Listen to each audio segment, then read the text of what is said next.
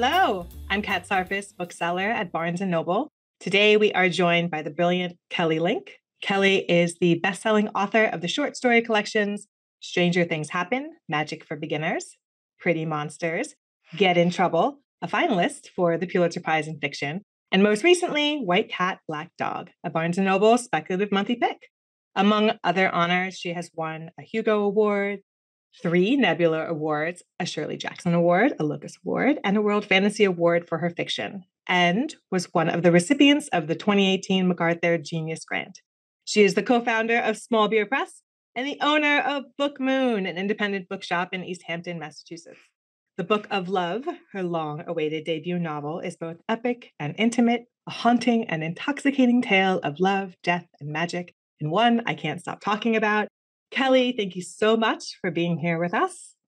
It was absolutely my pleasure. Thank you for having me. So many know you as like a master of the short story. And I don't say that lightly. An author that sort of wields the weird and surreal as a very powerful and enjoyable tool. Your stories have captivated and enchanted so many readers. So I have to ask what led you to Laura, to Daniel, Mo, to Susanna, to Lovesend, and this dizzying and generous first novel? Wow, thank you. I am a short story writer, and I think I will always think of myself that way. But I am part of a local community of, of novelists. I do a lot of my writing with other people when circumstances permit, um, with other writers. And the two writers that I write the most often with are Holly Black and Cassandra Clare. And I think that in part, I began thinking about novel writing because I wouldn't say I'm intimately engaged, but I am a very close up bystander of people who, year after year, produce these really fantastic novels um, in a genre that I love to read. I also, for years, ran a small press with my husband, and I edited many of the novels that, that we published. And I think at a certain point, after you listen to people talk about novels and you work with writers who are publishing their novels. Um, and if you love novels as a reader, you start to think, this seems like it would be worth exploring, I guess. What what could I do in a novel that I couldn't do in a short story? Mm-hmm. And the second part of that is when Random House bought my collection, Get in Trouble, they bought a second book, uh, a novel. And the reason why I sold them a novel was the writer Holly Black said to me, You are going to write a novel accidentally if you don't write one on purpose. And it would be much, much better to write one on purpose. And that made some sense to me. Yes. And I work really well the deadlines for a particular editor. And I thought, left on my own, I'll write the accidental novel. But if I sell it, then I will have to write it. And I had some ideas that I had been thinking about for a long time. I originally thought that I would write a short ghost story novel, and I think that I will do that. That will be my next adult project. But I had been thinking about these kids coming back from the dead. I had been thinking about it as a trilogy. And uh, what I thought when I put aside the ghost story novel, because I thought I, I don't have the heart for this right now for whatever reason, I can't find my way in. But what if I began to think about the problem of how to make a trilogy into one into one book? And I often begin a project by thinking about a technical problem. Um, and so in this case, the technical problem was how to condense something that should be three books into one book. And as you can see, uh, the one of the parts of that solution is well, it's going to be very long. Yes. Generous. I'll I'll Generous. use that. yes, you said long awaited, and I thought you could just say long. yes, I I mean like I'm almost like embarrassed to show people. I have this beautiful arc here um, that has all these wonderful quotes on it um, and just a great description. And it is so beat up because I feel like I kind of lived and breathed this book for a very long time and it just was like a constant companion. And now that you're saying like that it was like it was a trilogy, it makes me almost want to go back and like find those beats because I guess yeah, now that I'm thinking about it, there is there's arcs and there's like there there is a flow and there were points where I did almost feel like okay, well that wrapped up. And now but now what? Like what's how, you know, and then it, and then but then the story continues. So that's really interesting. I don't think I've ever had anyone say that. Like that that's how they are approaching, uh, that's how they approached a novel. I, I don't think I'm sorry about this. I think it would have been hard to pull off in a in a trilogy, but I had an idea for a middle book, which involved not quite a standalone because the characters would have been the same, but they would have been more or less inside of a historical romance. Mm-hmm. Oh, wow. Um, which would have been a, a, ton of fun to write. And I, you know, this book in, is in some ways my love letter to the romance genre that I don't work in, but that as a reader has given me enormous pleasure. But when I thought about writing a historical romance novel, I thought I'm still a reader of that. I'm I'm not sure that I'm a, a writer in that in, in that genre in that format. In a way, with with Lavender Glass and with with Marianne, you kind of were able to sort of embody a romance writer and a character in a series of books and and other books, and so that's that's lovely. That's a nice little sneak in there for you. Yeah, I, I don't think it's a spoiler to say that a, a secondary character in this book is is a romance writer, a very yes. successful one, who does follow that sort of, in many respects, punishing schedule of, of mm-hmm. putting out, you know, a book a year or more um, about one character, following the their their sort of their love life, and and you know, part of the pleasure of thinking about that is is if you write about the same characters over and over again even if each book has a happy ending you know that the next book happens because something bad has happened or something bad is going to be happened because that's what happens in books. Bad yes. things happen and, and people sort of navigate them. Yes and i think that's even something and now i'm trying to I'm, I'm remembering like i think that's even a a, a point in the book where it's like, oh, poor poor Lavender has to now go back she's going to be kidnapped again or she's going to like something yeah. terrible i'm sorry something else terrible is going to happen to you but this is just the way it goes and this is yeah. how the series goes and this is what the readers want and i have to provide and i think we even say somewhere and it's where it does say like you know that that that that character the romance marianne where you know she's written I, I feel like you do give a number it's it's some astronomical amount of books and you think to yourself like how can anyone possibly write that many but that is exactly what the schedule of romance writers. That yeah. is exactly what they do. Yeah. So that's crazy. Well, I love that.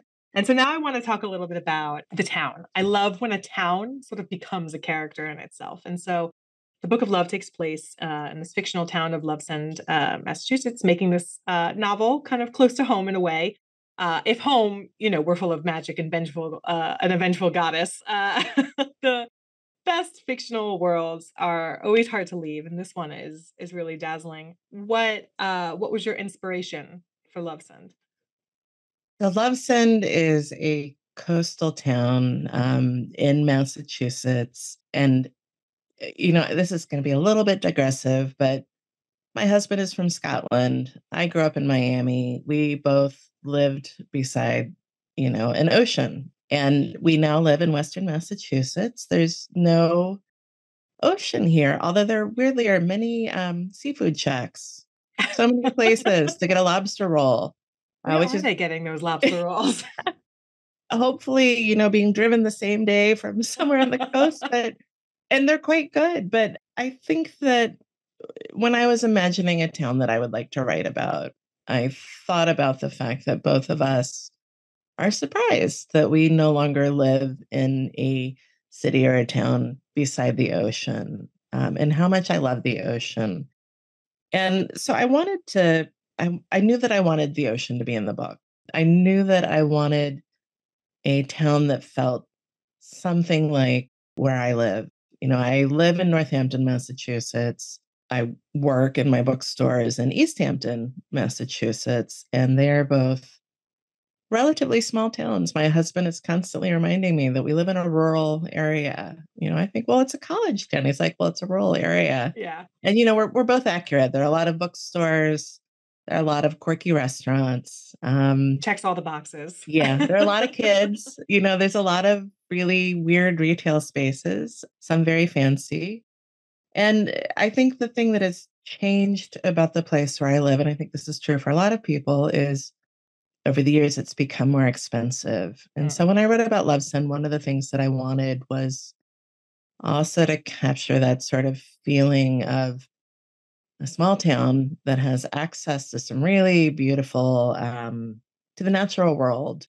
Uh, maybe it has a strong bike culture. It has these quirky restaurants, um, but it's not yet hit that point where the locals are priced out. Yeah. It's still Um, accessible. yeah, and so for me, you know, it's the kind of town that would be paradise. Yeah. I was gonna say, I'm like, sounds like exactly like the kind of place that we all wish existed. Yeah, yeah, and you know, I think they exist for pockets of time, and then they they sort of disappear again um, as as as you know the world gets harder in other places. You've done a justice. You've cemented it in book form. I did. I, I wanted I wanted to preserve sort of that feeling when we first came here, and I I say this realizing when we came here, uh, it was already beginning to change. But you know, things things are constantly changing everywhere. But that's you know this this to me is is sort of the novel version of of the kind of small town that I've been lucky enough to live in for going on twenty years now. Wonderful. So, talking about characters. So, as much as I feel like the town is its own character, this is an impressive ensemble of characters um, that are uh, that are in this book. And I loved how you know you jump around. There's lots of points of view. I love how readers get to sort of delve into the minds of so many.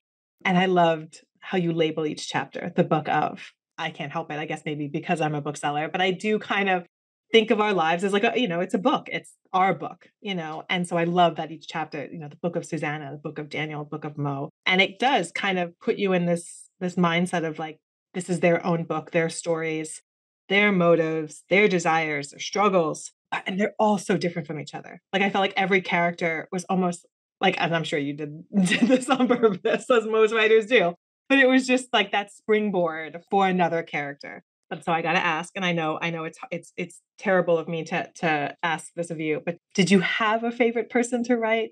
Did you have a character where there was like a particular inspiration um, that you took for them? And I know it's like asking you to choose choose amongst your children, so I know this is a wicked question. But when you have such an impressive ensemble, I have to think: did was there one character that stood out, or was there one character at a time you enjoyed more than others? There are two characters that that are sort of pulled from my life uh, in terms of the dynamics between them. Um, Susanna and Lara, not not entirely. They're sisters. They're very close in age. They have a contentious relationship. Um, the older one, Susanna, is kind of a disaster, and she has a slightly younger sister, Lara, who knows what she wants to be, what she wants to do, has a real sense of the way that the world should work. Parts of their relationship is definitely drawn from the kind of relationship that I had with my sister when we were teenagers. We fought constantly. We did not understand each other's point of view. We had very different sense of our place in the world. So that aspect was um, comfortable, weirdly, to write from, even though it's a there's a lot of uh, fighting in the relationship. That dynamic was a comfortable one to explore. And I will say now, my sister is wonderful. We have a great relationship, but I sort of knew some of the boundaries of that relationship and some of the ways that they played off of each other. I love all of the characters. Thomas is somebody who's been alive for a long time. He sort of uh, navigates almost between different kinds of uh, voices. You know, he's been alive for such a long time. English was not his first language. Uh, so he has different registers um, that he speaks in, depending on if he's talking about his past, if he's, you know, um, sort of speaking to people who don't know who he was when he was first alive. And I found the that register, the more historical voice, really pleasurable to write in. That I felt very far removed from myself, but that it was a very weirdly, strangely easy place to write from. Um, and then there's a another character, Bowie, uh, who is kind of a mystery, who has come back from the dead with a few of the other characters, but is not really the person that they they once were. And I found Bowie easy to write as well. I think in part because his point of view was so strange. Um, that that I was able to get outside my own head uh, when I was working in in Bowie's voice. And thinking about what you were saying about not only just you know the, the different voices, but you do have quite a few characters that are are old. and I when I say old, I mean it's like ancient level old. And you do even speak about how they were what they are now is not what they once were. And so having, you know, evolved. And so it is interesting because to, you know, think about how, you know, they are speaking in one way and knowing that is that a, is that a, a throw, you know, to their former self and now, you know, and kind of trying to meld their current situation or their current self and what they've evolved into. I did love when uh, Bowie asks, "What's a muffin?" And you know, again, that simplicity of yes, this is these are new things. While they might not seem new to us when you are a thousand years old or 500 years old, these things are new. They're, you know, mm. and and I think that that must be so enjoyable to really sit down and think, if I'm a thousand years old, do what do I know? You know, if I've been think, trapped in some other dimension, yes. like while people came up with movies and you know all this other stuff. Yes. What would it be like to sit in that movie theater for the first time? And kind of experience that that jump yeah. you know and in time. But then also that that sort of evolution like and i you know i love how even you know with with bogomil i love how um you know he is sort of the the deviant in a way and then but it's like he wasn't always that way. And you know and i think that you know kind of showing darkness changes us but also just experience changes us Trauma changes us. Relationships change us. Love changes us. Like, yes. There's a great deal of fun mm. thinking about even minute changes, the big changes, the goofy changes, you know, and, and of course. Also, and also the parts of us that feel essential, you know, that that that we hold on to the longest. Uh, you get into these characters' heads, these particularly like the that are, you know, are some of our teenage protagonists it can be frustrating, but at the same time, you're like, that's exactly what a teenager would say. and it's like maddening, you know, but at, at, the same time, again, everyone has, and I think that you even have characters will say that say like, oh yeah, I know I'm stupid now, but I won't always be this way.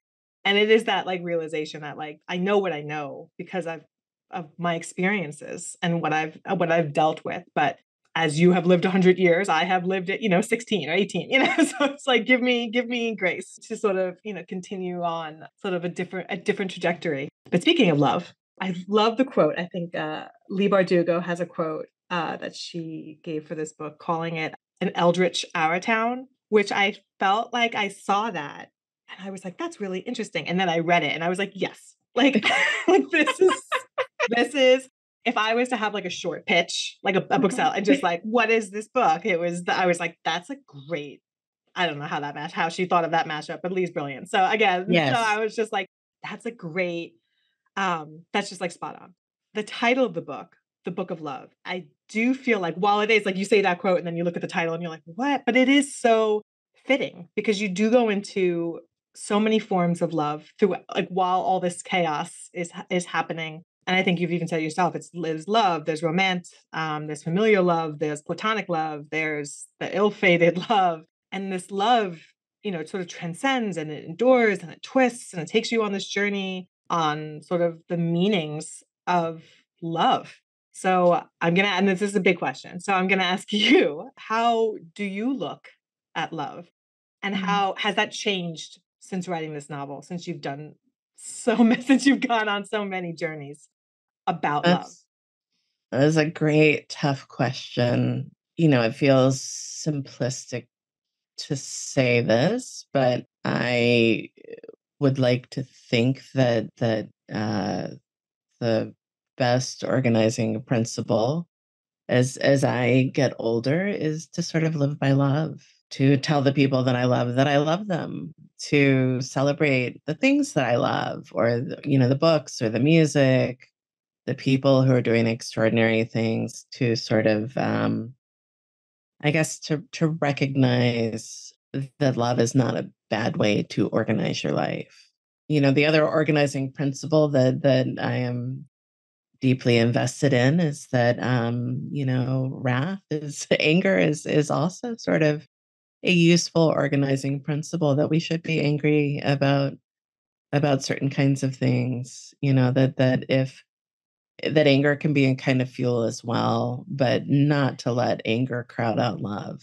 Yes. But I mean, in a way, I mean, not all anger. I, I just preface by saying that. Absolutely. But um, I think anger can, I mean, I, there is love there. I mean, to Yeah. be angry about something means that you had to have had an immense amount of love for that thing to oh, begin Oh, you're with. right. Absolutely. And so it's like it even when even in the darker elements, there's still love. And I think that's, you know, hearing you talk about, you know, your how much you enjoy writing the characters of of Thomas and Bowie. And I really you can kind of, you know, easily make put these, you know, love threads with the different characters. And that one, it did take a beat before I was like, no, no, this is another, this is just another form of love. Like there, yes, there's like hatred there, but it's there once wasn't.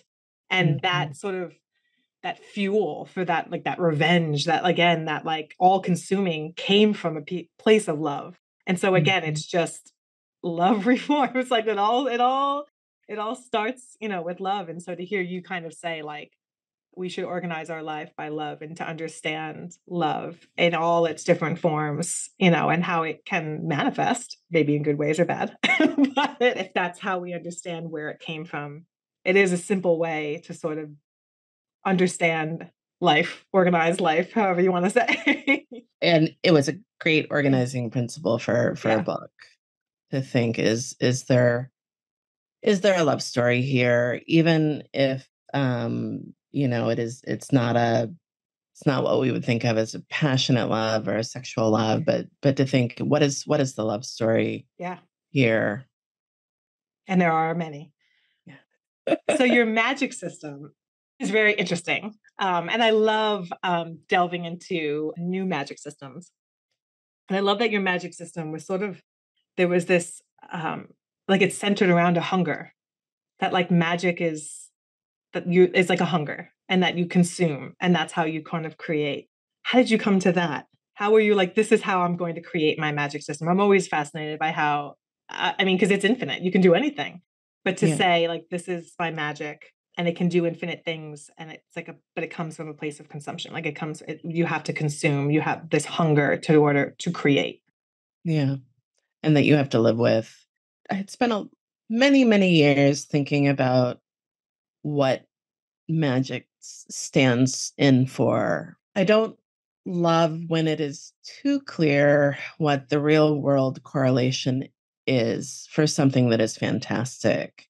I don't want to think that there is a one-on-one relationship let's say Mhm. between a vampire and you know whether it's sickness or some specific kind of trauma. I want there to feel that there is a dimension there that is larger than just the vampire as a metaphor for something yeah at the same time i think when you work with a fantastic you have to recognize that people are going to make their own correlations uh, between what a fantastic element in a book might relate to in the real world.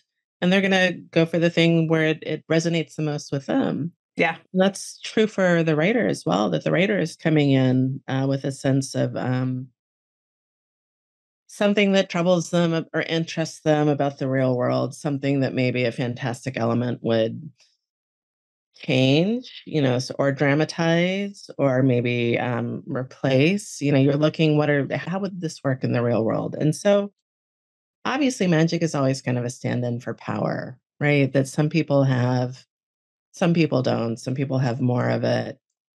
And oftentimes I think that that kind of stands in for money, you know, for Mhm. wealth. Some people have a lot of magic, some people have very little. The more you have, the better off you are.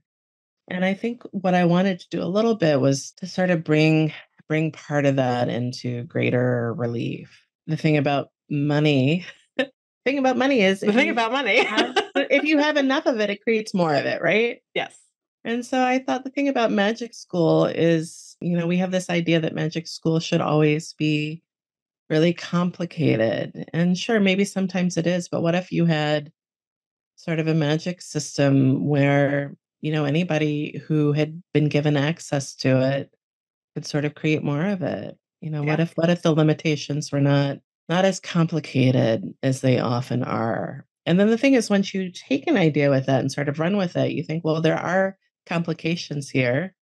They're just not the complications that you would normally normally think of. You know, it's not that it's free. Uh, it's just that it it changes you as a person in the same way that I think unlimited access to money would change a person, right? Absolutely. And or power to your Or power. point. Yeah. Yeah.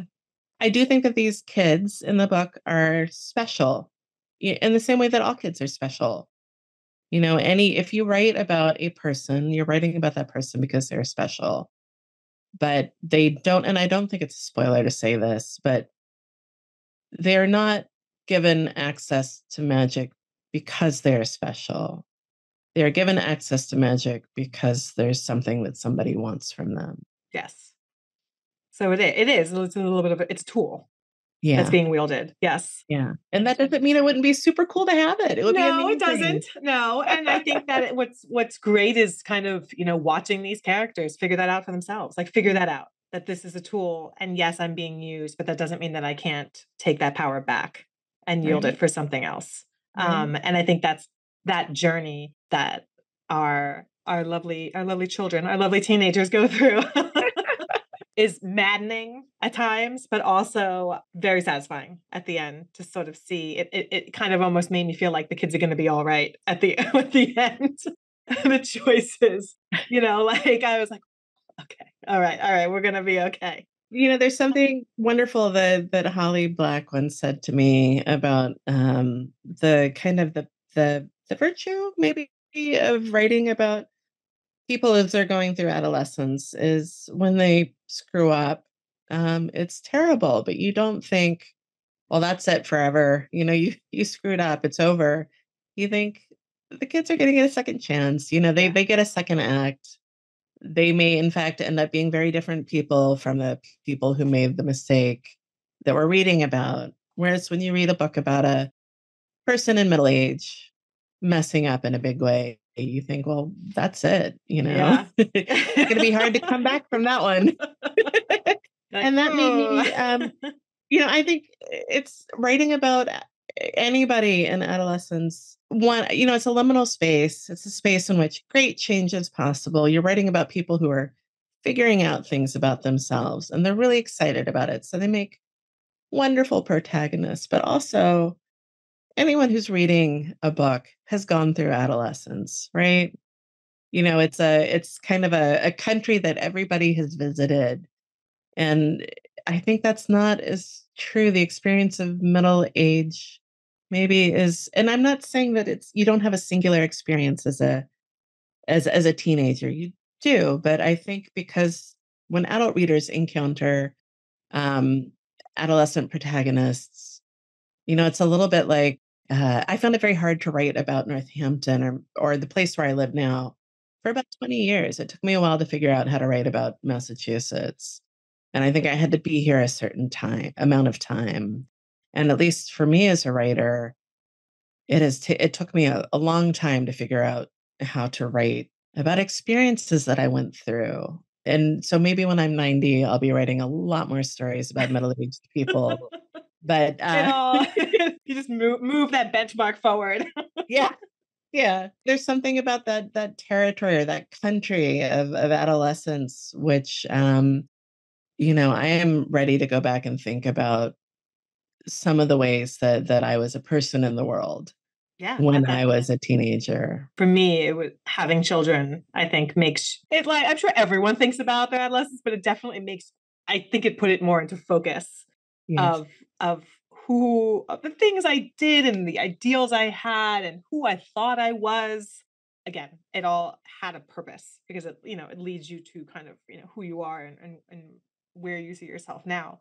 I love that you just said you're like, oh, you know, the kids are gonna get like, or you know, their kids are gonna be all right. Because I will tell you, this entire book, I did not know if the kids were going to be all right. You know, and I think this is this is this is a great thing. Um, you know, when you do get to experience it, because I think when you read so many books, you can't help but kind of start to oh, I think I know where this is going. Oh, I think I, I you know, I can see this is this is going to happen. And I I think maybe because of the fantastical element and because of the rules of this game that they were playing and how it was going to work out, I will I will say up in like to the last what a couple chapters when it when it finally starts to you know everything things are starting to settle. I had no idea what was happening. everything was going to be all right, and I knew it might not be all right, but like you know, what is all right? Like, is it going? Exactly. Is it all right for that character? Like, is it going? Like, is that except Like, maybe for someone else that would not be acceptable, but for that character, like that that sort of ending was going to be okay for them or that's what that's the ending that they needed whether well i wanted it for them or not so thank you for that for keeping oh. me uh for keeping me very like what is happening and like is this are they going to be you know these decisions and is everything going to eventually fall into place again not necessarily in a neat way but in a way that it's going to you know it has to in a way that is good for for those characters or for for what they for what they needed for what their journey needed to be so love that Oh, thank you. Speaking of love and other things in the book, I wanted to talk to you about music. So there's a lot of music references throughout the story. I loved thinking about that it was like John Cage to Taylor Swift and Barry Manilow to St. Vincent. Um, and our characters, our main protagonists, they're in a band. So, how has music influenced you or influenced your writing? Um, you know just in general but also when you were when you were writing this did you have like a playlist uh in your head i do i i because this book took eight years to finish the playlist evolved over time yes uh but yes i listen to music when i work i find it very hard to work without some kind of background noise uh and music is is sort of the, the best the best noise you can you can sort of put in your ears, at least mm-hmm. for me. So there are actually two playlists, one on Spotify, one on Apple Music that go along with with the book. And Wonderful. It's not quite the entire playlist that I listened to while I was working on the Book of Love, but it is representative. Uh, and that was a lot of fun to to sort of make those make those public. Yeah, um, and I think yeah, because you hear, I mean, you talk about songs and it does. It like when you listen to a song, it transports you based on how you're feeling for that your feelings for that song puts you in a different mindset and then that can just i think that's just incredible because every reader then comes to it differently. Yeah. And it, it is part of the reason also why the book is quite long because uh you know music is is collaborative even mm-hmm. a lot of the time at least there are you know singer songwriters who do everything themselves but but the effect of music is still uh often choral you know that there's more than just one voice more than just one guitar that in the same way that the characters have different relationships with music. Some of them are in a band together. I wanted there to be a kind of choral effect in the novel to have all of these different voices and rhythms the way that you you have in music. Just create that as much as i could in in a book there is that thread and i feel like that you know it does flow it does feel like it does feel like a song and i because there are different elements to your point there's there's i mean there's like a classical component and do you have a character who just wants to play you know every instrument that he can get his hands on versus you know then the, again the collaborative the band um, which had uh, wonderful names. Uh, that, that one, now I'm going to see if I can remember. My hands both know you. My, my two hands both know two you. Two hands both know you. A fabulous name for a band. And then it, the fact that it just like ties into their the characters' names is just is I love I I uh, love a good pun. So I will always very much appreciate that. But it does. It just and I you know of course I can't help but then like oh it's just music is a love language in itself and you know and it's this sort of like gift that we give ourselves, that we give give each other. There's also karaoke, and that is, I guess, another form of music um, that we that we can enjoy. Uh, it's you know not always doesn't always have to be terrible, but I think it's fun, and I think it's just again like a silly kind of a release of whatever we're feeling, whether we want to um, shout from the rooftops or you know sing a sad song.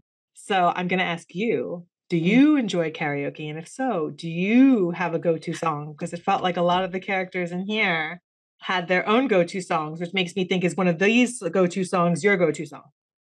Oh, I feel like you've seen right through me. Um, I do I do love karaoke. One of the things that I love about it is you know, whether you are at a karaoke night with good friends or with people that you don't know that well, but you've all gone out together, uh, you sort of learn a lot about somebody you don't know by the way they sing, by their sort of attitude about singing, by what they pick. And with friends that you do know and you hear them sing, it's often a real surprise. You think, I didn't know you could sing, or oh man, I didn't know that you couldn't sing, but that was so amazing.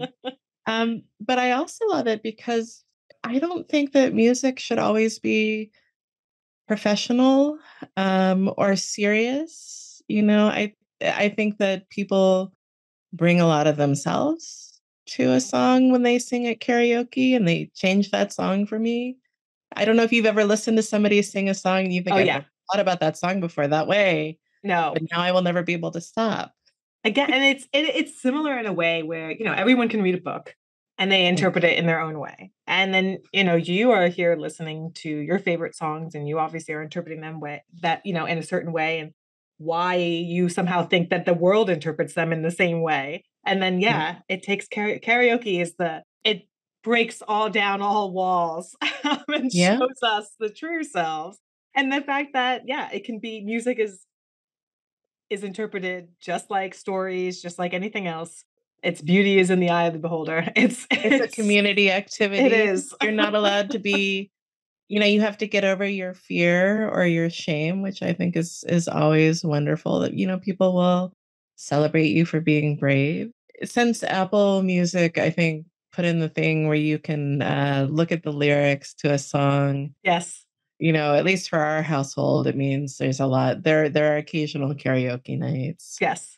Uh, but my go-to public number is um, Elton John's "Goodbye Yellow Brick Road." It's a good one.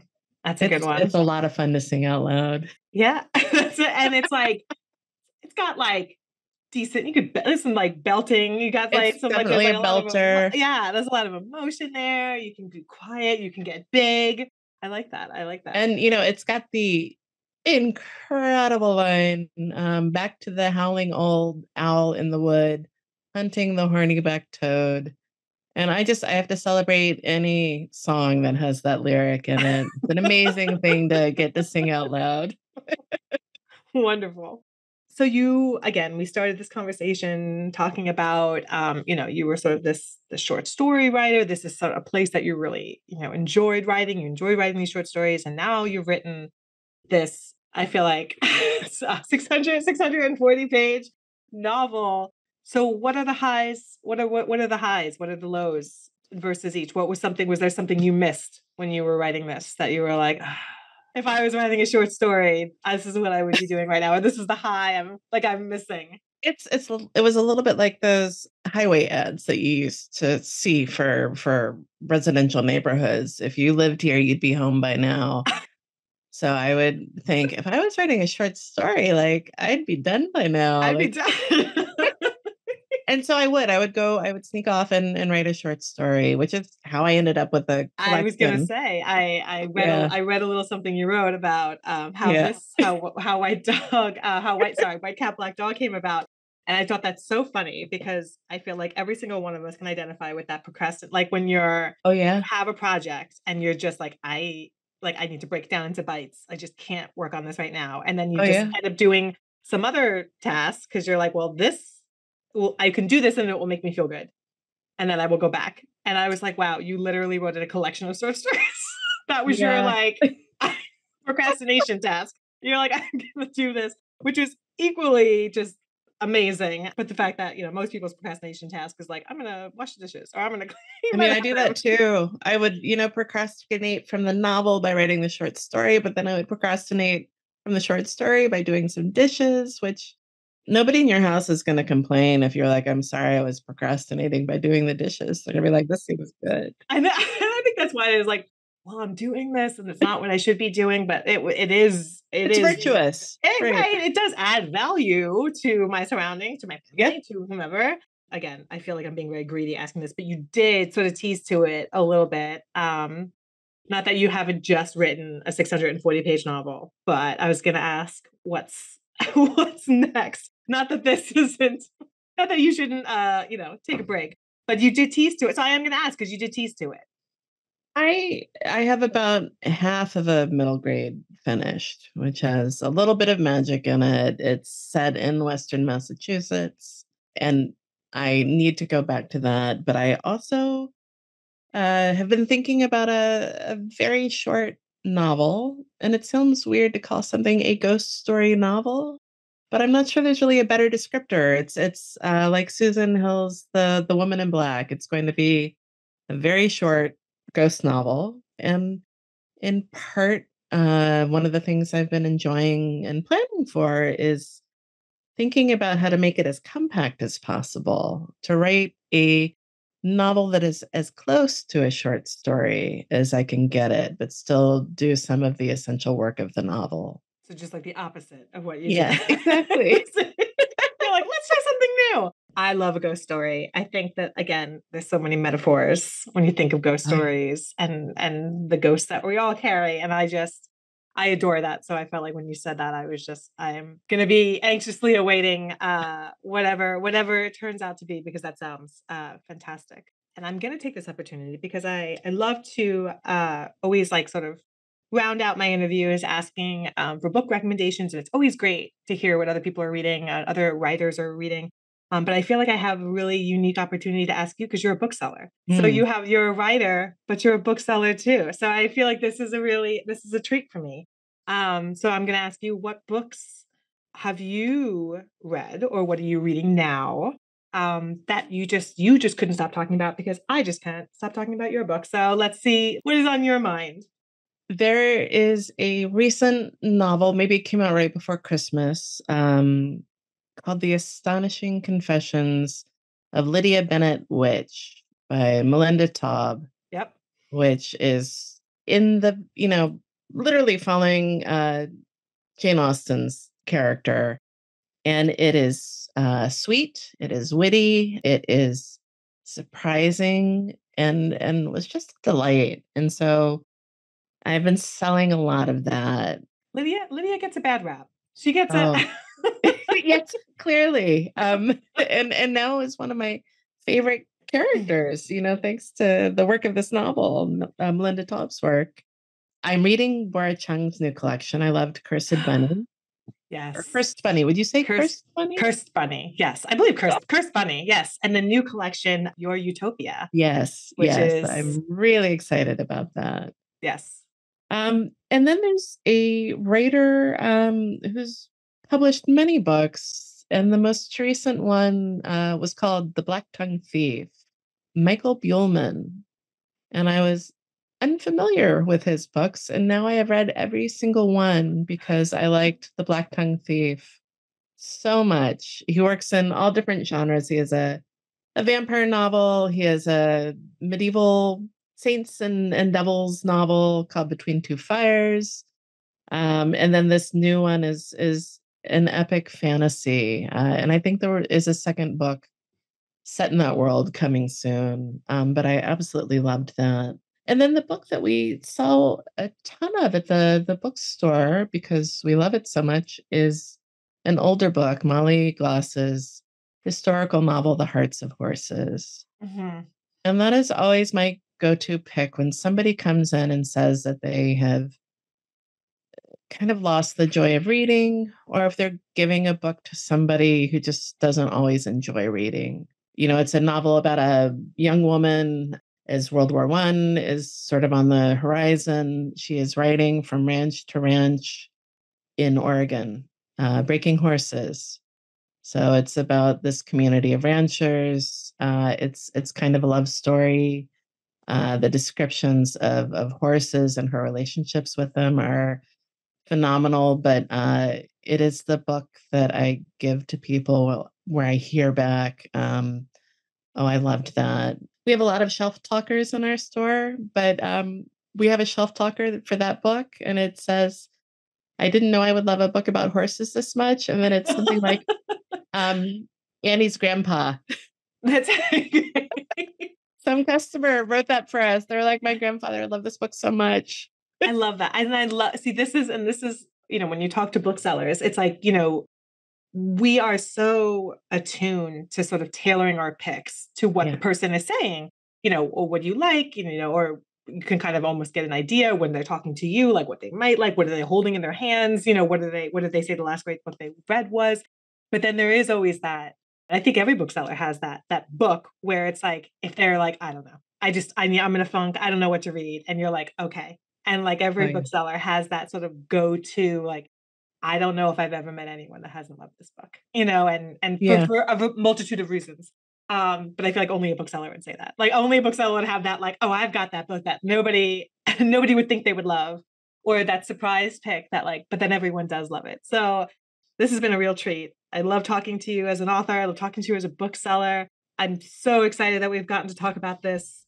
This again, I'm going to say generous, generous novel, and I'm so excited for more people to to come to the book of love so kelly thank you this has been a real treat and the book of love is out now thank you so much